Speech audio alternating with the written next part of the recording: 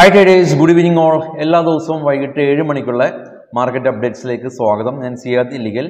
അങ്ങനെ വളരെയധികം വോളറ്റിലായിട്ടുള്ളൊരു ഒരു വീക്ക് കൂടി കടന്നുപോയി. ഈ ഒരു മാസം തന്നെ എടുക്കുകയാണെങ്കിൽ നിഫ്റ്റി ഹൈലി വോളറ്റിലായിരുന്നു ഈ കഴിഞ്ഞ ആഴ്ച നിഫ്റ്റി പതിനേഴ് തൊള്ളായിരത്തി അമ്പത്തി എട്ടിൽ ഓപ്പൺ ചെയ്തു. അതേ പോയിന്റിൽ തന്നെ നിഫ്റ്റി ക്ലോസ് ചെയ്തു. അതായത് ഒരു ക്ലിയർ ആയിട്ടുള്ള ഒരു ഡോജി ക്യാൻഡിലാണ് കഴിഞ്ഞ ആഴ്ച നിഫ്റ്റി ഫോം ആയത്. ഈ ഒരു മാസം എടുക്കുകയാണെങ്കിൽ പതിനെണ്ണായിരത്തി ഒരുന്നൂറ്റി ഇരുപത്തിയെട്ടിൽ ഓപ്പൺ ചെയ്തു പതിനേഴ് തൊള്ളായിരത്തി അമ്പത്തെട്ടിൽ ക്ലോസ് ചെയ്തു ഒരു നൂറ്റി എഴുപത് പോയിന്റിന്റെ ഫോൾ രേഖപ്പെടുത്തി ഏകദേശം ഒരു പത്ത് ദിവസത്തെ ട്രേഡിംഗ് ഡേ കൊണ്ട്.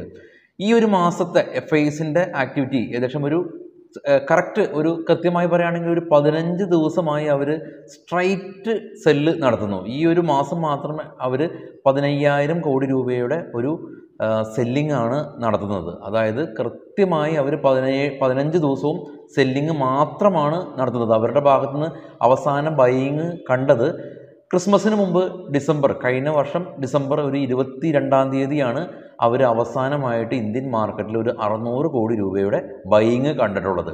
അതിനുശേഷം ബാക്കി എല്ലാ ദിവസവും സെല്ലിങ്ങിൽ തന്നെയായിരുന്നു. അതുകൊണ്ടാണ് നിഫ്റ്റി ഈവൻ കഴിഞ്ഞ ആഴ്ചയും ഒരു ഡോജി ക്യാൻഡിൽ ഫോം ആയത്.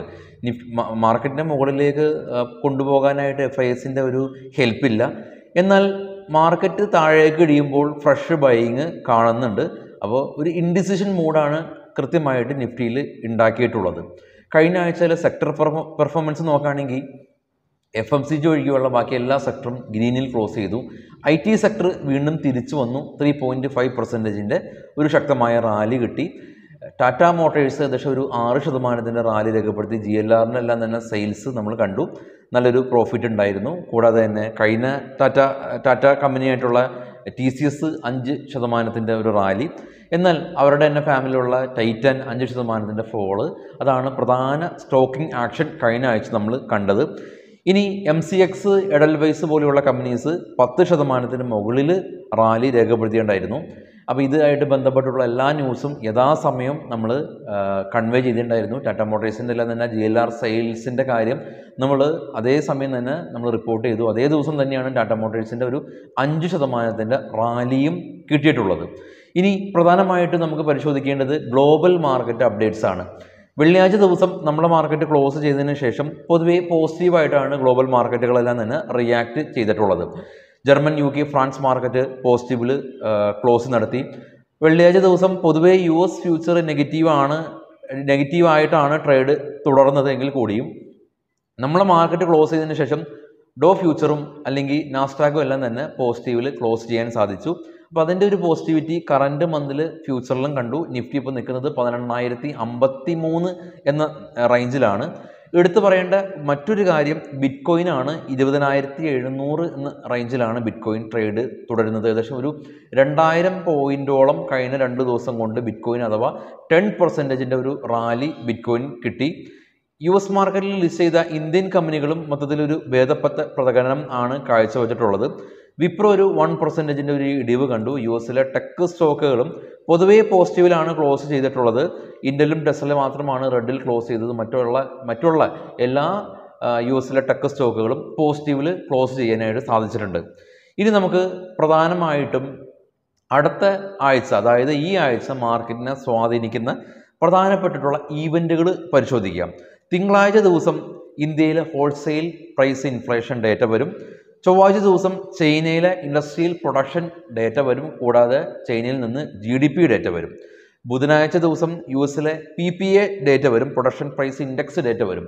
ഇതാണ് ഗ്ലോബൽ മാർക്കറ്റിൽ ഈ ആഴ്ചയിൽ വിപണീനെ ഇന്ത്യൻ വിപണിനെയും അതായത് ഗ്ലോബൽ വിപണിനെയും സ്വാധീനിക്കാൻ പറ്റുന്ന പോയിന്റ്സ് എന്ന് പറയുന്നത്. കൂടാതെ തന്നെ നമ്മുടെ തിങ്കളാഴ്ച ഫെഡറൽ ബാങ്കിന്റെ റിസൾട്ട് ഏഞ്ചൽ വണിന്റെ റിസൾട്ട് ഡെൽറ്റ കോർപ്പിന്റെ റിസൾട്ട് ഇൻഡസൻ ബാങ്കിന്റെ റിസൾട്ട് ഹിന്ദുസ്ഥാൻ യൂണിലിവറിന്റെ റിസൾട്ട് ഏഷ്യൻ പെയിന്റെ റിസൾട്ട് പി വി ആറിന്റെ റിസൾട്ട് ജെ എസ് ഡബ്ല്യു സ്റ്റീലിന്റെ റിസൾട്ട് തുടങ്ങിയ റിസൾട്ടുകളും ഈ ഒരാഴ്ച മാർക്കറ്റിൽ ഉണ്ട്.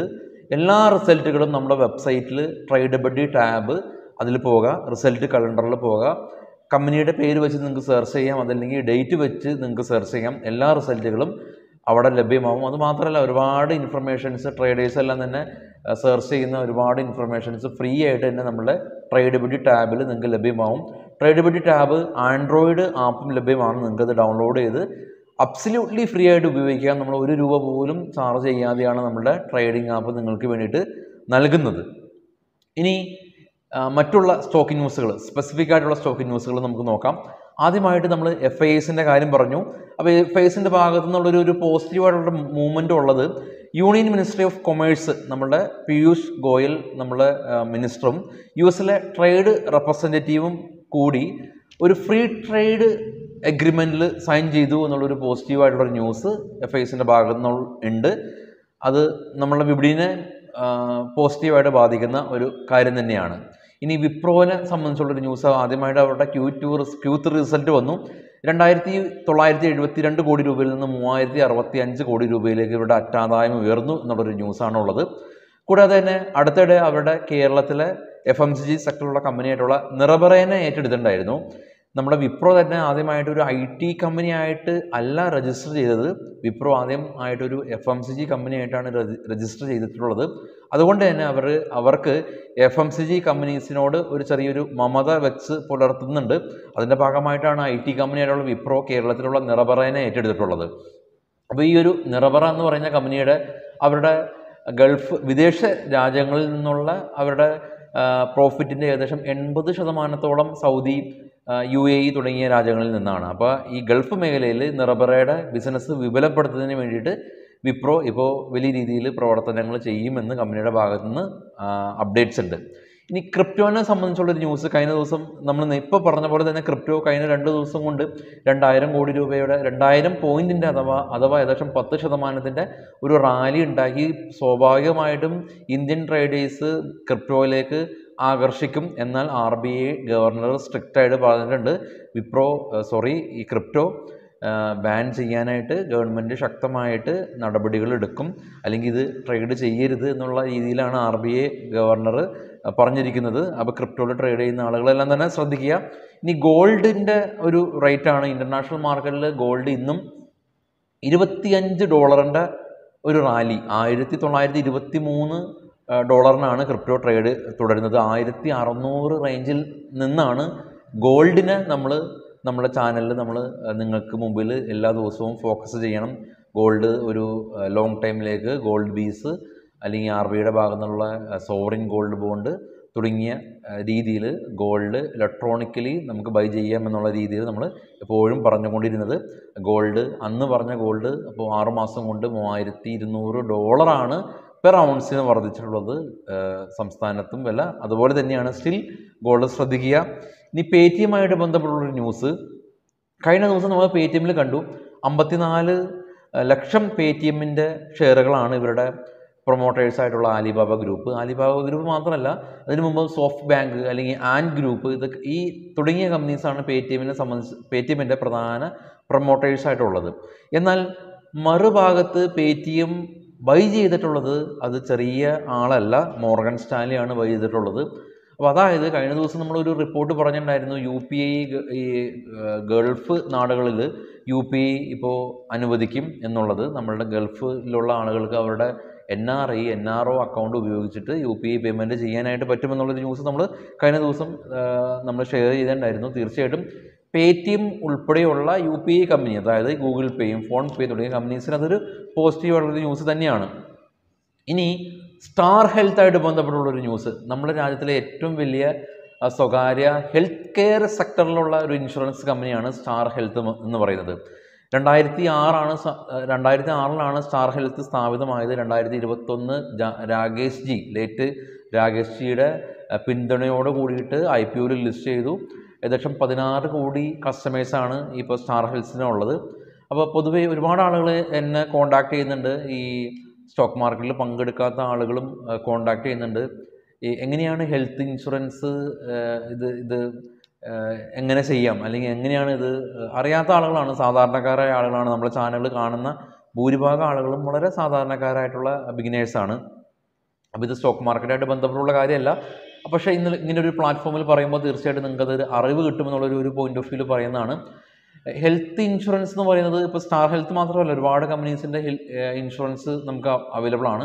ഇയർലി ഒരു പ്രീമിയം നമ്മൾ കൊടുക്കണം. അത് നമ്മളുടെ ഏജ് വെച്ചിട്ടാണ് പ്രായമായ ആളുകൾക്ക് കുറച്ച് പ്രീമിയം കൂടുതലാണ് പ്രായം കുറഞ്ഞ ആളുകൾക്ക് പ്രീമിയം കുറവാണ്. അപ്പോൾ ഇയർലി നമ്മളൊരു ഫിക്സ് ഒരു വൺ ടൈം പ്രീമിയം ആണ് നമുക്ക് നമ്മൾ ഇവർക്ക് കൊടുക്കേണ്ടത്. അതിനുശേഷം നമ്മൾ ഹോസ്പിറ്റലിൽ അഡ്മിറ്റ് ആയാൽ നമുക്കറിയാം ഒ പി ഐ പി എന്ന രണ്ട് രീതിയിലാണ് ഹോസ്പിറ്റൽസ് ട്രീറ്റ് ചെയ്യുന്നത്. അതായത് ഒ പി എന്ന് പറയുമ്പോൾ നമ്മളൊരു ഡോക്ടറെ കാണുക അഡ്മിറ്റ് ആവാതെ കാണുക എന്നുള്ള രീതിയാണ്. അപ്പോൾ അങ്ങനെയുള്ള സമയത്ത് നമുക്ക് ഇവർ നമുക്ക് ക്യാഷ് തരില്ല. എന്നാൽ ഐ പി നമ്മൾ ഇൻ പേഷ്യന്റ് നമ്മളവിടെ അഡ്മിറ്റ് ആകുകയാണെങ്കിൽ ഇരുപത്തിനാല് മണിക്കൂർ മിനിമം അഡ്മിറ്റ് ആകുകയാണെങ്കിൽ ഈ സ്റ്റാർ ഹെൽത്ത് അതില്ലെങ്കിൽ അതുപോലെയുള്ള ഇൻഷുറൻസ് കമ്പനീസിൽ കമ്പനി നമുക്ക് പേയ്മെന്റ് തരും. അതായത് നമ്മൾ എടുത്തിരിക്കുന്നത് മേ ബി ഒരു വൺ ലാക്കിന്റെ ഒരു ഇൻഷുറൻസ് ആവാം അല്ലെങ്കിൽ ടു ലാക്കിന്റെ ഇൻഷുറൻസ് ആവാം. അപ്പോൾ അത് നമുക്ക് നമുക്ക് പേയ്മെന്റ് തരും. രണ്ട് രീതിയിൽ നമുക്ക് പേയ്മെന്റ് ചെയ്യാം. ഒന്നാമത് മിനിമം ഒരു രണ്ട് മണിക്കൂറാണ് എടുക്കുക. നമ്മൾ ഹോസ്പിറ്റലിൽ നമ്മളെ ബില്ല് വന്നു. ആ ബില്ല് വരുമ്പോൾ നമുക്ക് രണ്ട് ഓപ്ഷൻ ഉണ്ട്. ഒന്നാമത്തെ ഓപ്ഷൻ നമുക്ക് വെയിറ്റ് ചെയ്യാം. ഈ ഇൻഷുറൻസ് നമ്മളെ ഹോസ്പിറ്റൽ ആളുകൾ തന്നെ ഇൻഷുറൻസ് കമ്പനീനെ ബന്ധപ്പെടും. രണ്ട് മണിക്കൂറിനുള്ളിൽ അവർക്ക് പേയ്മെന്റ് മിനിമം കിട്ടാറുണ്ട്. നമുക്ക് ക്യാഷ്ലെസ് ആയിട്ട് നമുക്ക് ഹോസ്പിറ്റലിൽ നിന്ന് പോകാം. ഒരു രൂപ പോലും കൊടുക്കണ്ട. നമ്മൾ ഫുഡിന്റെയോ അല്ലെങ്കിൽ മറ്റ് ചെറിയ ചെറിയ എക്സ്പെൻസ് ഒക്കെ വന്നേക്കാം. രണ്ടാമത്തെ മെത്തേഡ് ഉള്ളത് നമുക്ക് ക്യാഷ് അടച്ച് പോകാം. ക്യാഷ് അടച്ച് പോയതിന് ശേഷം നമ്മൾ ഹോസ്പിറ്റലിൽ നമ്മൾ അക്കൗണ്ട് നമ്പർ കൊടുക്കുന്നു. ഇൻഷുറൻസ് കമ്പനി ഹോസ്പിറ്റലിന് കാശ് കൊടുക്കുന്നു. ആ കാശ് നമുക്ക് നമ്മുടെ ഹോസ്പിറ്റലിലെ ആളുകൾ നമുക്ക് ബാങ്ക് അക്കൗണ്ടിൽ തരുന്നു. നമ്മൾ ഞാൻ ഇത്ര ഡീറ്റെയിൽ ആയിട്ട് പറയാൻ കാരണം സ്റ്റിൽ ഒരുപാട് ആളുകൾക്ക് ഡൗട്ട് ഉണ്ട്. ഈ ഒരു ഇൻഷുറൻസ് എടുത്ത സമയത്തും എനിക്കും ഉണ്ടായിരുന്നു ഒരുപാട് പേഴ്സണലി ഡൗട്ട് അപ്പോൾ ഞാൻ ഞാനിപ്പോൾ ഒന്ന് രണ്ട് നിങ്ങൾക്ക് അറിയാവുന്ന പോലെ ഒന്ന് രണ്ട് തവണ ഹോസ്പിറ്റലിലൊക്കെ പോയി. ഇപ്പോൾ എങ്ങനെയാണ് ഹോസ്പിറ്റലിൽ ഇങ്ങനെ ഇൻഷുറൻസ് ക്ലെയിം ചെയ്യുന്നതെന്ന് എനിക്ക് വ്യക്തമായിട്ട് അറിയാം. അതുകൊണ്ടാണ് നമ്മുടെ ചാനലിൽ കാണുന്ന ആളുകൾക്ക് നിങ്ങൾ ഹെൽപ്ഫുൾ ആവാനായിട്ടാണ് ഞാൻ എത്ര അധികം സമയം എടുത്ത് പറഞ്ഞത്. അല്ലാതെ മാർക്കറ്റിനെ സംബന്ധിക്കുന്ന കാര്യങ്ങളൊന്നുമല്ല ഇനി മാർക്കറ്റിനെ സംബന്ധിച്ച കാര്യങ്ങളിലേക്ക് പോകുമ്പോൾ വണ്ടർലാനെ സംബന്ധിച്ചുള്ളൊരു ന്യൂസാണ് കമ്പനി മധ്യപ്രദേശിൽ അവർ അമ്യൂസ്മെന്റ് പാർക്ക് ചെയ്യാനായിട്ട് കമ്പനി തീരുമാനിച്ചിട്ടുണ്ടെന്നുള്ളൊരു ന്യൂസാണുള്ളത്. കമ്പനിക്ക് നിലവിൽ ബാംഗ്ലൂരിലും കൊച്ചിയിലും അമ്യൂസ്മെന്റ് പാർക്ക് ഉണ്ട് കൊച്ചിയിലാണ് അവരുടെ വലിയൊരു അമ്യൂസ്മെന്റ് പാർക്ക് ഉള്ളതെങ്കിൽ കൂടിയും അവരുടെ ഹെഡ് ഓഫീസ് ബാംഗ്ലൂരിലാണ് ഉള്ളത് ഇത് മാത്രമല്ല അവർക്ക് കുറേ റിസോർട്ട് ആക്ടിവിറ്റീസും ഉണ്ട്. അപ്പോൾ നിലവിൽ മധ്യപ്രദേശിൽ മാത്രമല്ല ചെന്നൈയിലും ഇന്ത്യയിലെ മറ്റ് സംസ്ഥാനങ്ങളിലും ഇവർ അമ്യൂസ്മെന്റ് പാർക്ക് ചെയ്യാനായിട്ട് കമ്പനി തീരുമാനിച്ചു. ഈ അമ്യൂസ്മെന്റ് പാർക്ക് എന്ന് പറയുന്നത് ഒരു സെക്ടറായിട്ട് നമ്മൾ പരിഗണിക്കുകയാണെങ്കിൽ ഈ സെക്ടറിലെ വലിയൊരു കമ്പനിയാണ് വണ്ടർല എന്ന് പറയുന്നത്. കാരണം Imagica world Nicco park and resort Wonderla ഈ ഒരു മൂന്ന് കമ്പനിയാണ് പ്രധാനമായിട്ടും എൻ എസ് സിയിൽ ലിസ്റ്റ് ചെയ്തിട്ടുള്ള അമ്യൂസ്മെന്റ് പാർക്ക് കമ്പനി എന്ന് പറയുന്നത്. അപ്പോൾ ആ രീതിയിൽ നോക്കുകയാണെങ്കിൽ വണ്ടർലയാണ് ഏറ്റവും മുൻപന്തിയിലുള്ളത്. പോർട്ട്ഫോളിയോ ഡേ ഡൈവേഴ്സിഫൈ ചെയ്യാൻ പറ്റുന്ന ആളുകൾക്കൊക്കെ പരിഗണിക്കാം. ഇനി നമുക്ക് എച്ച് ഡി എഫ് സിയുടെ റിസൾട്ട് വന്നു. പതിനായിരത്തി മുന്നൂറ്റി നാൽപ്പത്തി രണ്ട് കോടി രൂപയിൽ നിന്ന് പന്ത്രണ്ടായിരത്തി ഇരുന്നൂറ്റി അമ്പത്തൊമ്പത് കോടി രൂപയിലേക്ക് ഇവരുടെ അറ്റാദായം ഉയർന്നു. പോസിറ്റീവായിട്ടുള്ള ന്യൂസാണുള്ളത്. വിപ്രോയുടെ ന്യൂസ് ന്യൂസുകൾ നമ്മൾ പറഞ്ഞു കഴിഞ്ഞു. ഇനി നമുക്ക് സ്റ്റോക്കിംഗ് ന്യൂസിലേക്ക് കിടക്കാം. മഹേന്ദ്ര ലൈഫ് സ്പേസ് കമ്പനി ഇവർ സൗത്ത് ബാംഗ്ലൂർ ബേസ് ചെയ്തിട്ടുള്ള ഒരു കമ്പനിയിൽ ഒരു four point two five acre land acquire ചെയ്തു എന്നുള്ളൊരു ഒരു പോസിറ്റീവ് ന്യൂസ്. ജസ്റ്റ് ഡെയിലിന്റെ അവരുടെ റിസൾട്ട് വന്നു. പത്തൊമ്പത് കോടി രൂപയിൽ നിന്ന് എഴുപത്തി അഞ്ച് കോടി രൂപയിലേക്ക് ഇവരുടെ അറ്റാദായം ഉയർന്നു. ഡൽഹി വരി കമ്പനി ഇവർ അൽ അൽഗ്രോഗ്രാം ടെക്കിൽ ഇവർ അക്വിസിഷൻ പൂർത്തിയാക്കി എന്നുള്ളൊരു പോസിറ്റീവ് ന്യൂസ് ഇനി ബ്രിഗേഡ് കമ്പനിയും ടെറാക്ക് റിയൽ എസ്റ്റേറ്റിൽ ഇവർ അക്വിസിഷൻ പൂർത്തിയാക്കി. അവന്യൂ സൂപ്പർ മാർക്കറ്റ് അഞ്ഞൂറ്റി അമ്പത്തൊമ്പത് കോടി രൂപയിൽ നിന്ന് അഞ്ഞൂറ്റി തൊണ്ണൂറ് കോടി രൂപയിലേക്ക് അറ്റാദായം ഉയർത്തി. M N M finance CRISIL ഇവിടെ റേറ്റിംഗ് അപ്ഗ്രേഡ് ചെയ്തു. രട്ടൻ ഇന്ത്യ കമ്പനി റിവോട്ട് എന്ന് പറയുന്ന ഒരു ഇ വി കമ്പനിയിൽ അക്വിസിഷൻ അവർ പൂർത്തിയാക്കി.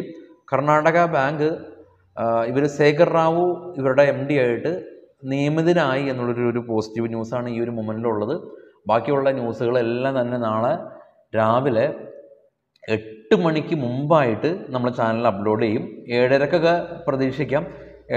ഏഴരക്കും ഏഴരക്കും എട്ട് മണിക്കും ഉള്ളിൽ നമ്മൾ അപ്ലോഡ് ചെയ്യാനായിട്ട് ശ്രമിക്കാം. അപ്പോൾ എല്ലാവർക്കും ശുഭരാത്രി നേരുന്നു. ചോദിക്കാൻ പറഞ്ഞു എല്ലാ ആളുകൾക്കും നല്ലൊരു വീക്കെൻഡ് കിട്ടി എന്ന് ഞാൻ എക്സ്പെക്റ്റ് ചെയ്യാണ്. Thank you by all